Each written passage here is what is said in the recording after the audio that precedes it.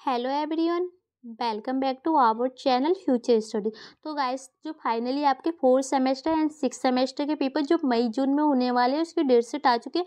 और जो आपके टेंटिव डेट सेट आई है नाइन्टी परसेंट जो डेट सेट होती है ना, यही होती है अगर टेन परसेंट हो जाए तो चेंजिंग आ सकती है डेट सेट में। नहीं तो यही होगी।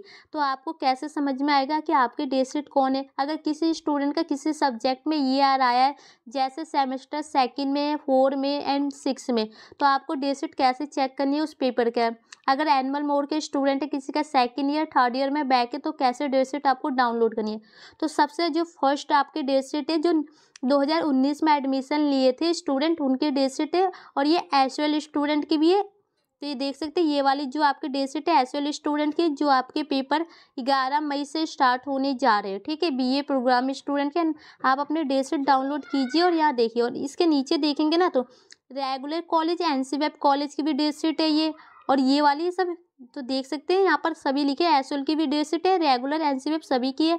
एंड ये नीचे करेंगे तो जो 2019 में किसी स्टूडेंट ने एडमिशन लिया था या उसके बाद में तो अगर आपका कोई ई आर पेपर है, जैसे सेकंड सेमेस्टर फोर या सिक्स एस स्टूडेंट के लिए डेट शीट है ई आर पेपर की, ठीक है? और इसके नीचे करेंगे तो जो ये आपकी डेट शीट है, ये जो एनुअल मोड स्टूडेंट है, जैसे सेकेंड ईयर या थर्ड ईयर स्टूडेंट के जो ई आर पेपर होंगे, उनके एडमिशन इनकी डेट शीट है, यहाँ से आपको डाउनलोड करनी है, अपना पेपर कोड अपना सब्जेक्ट मिला के ऐसे रेगुलर के स्टूडेंट के लिए, ठीक है?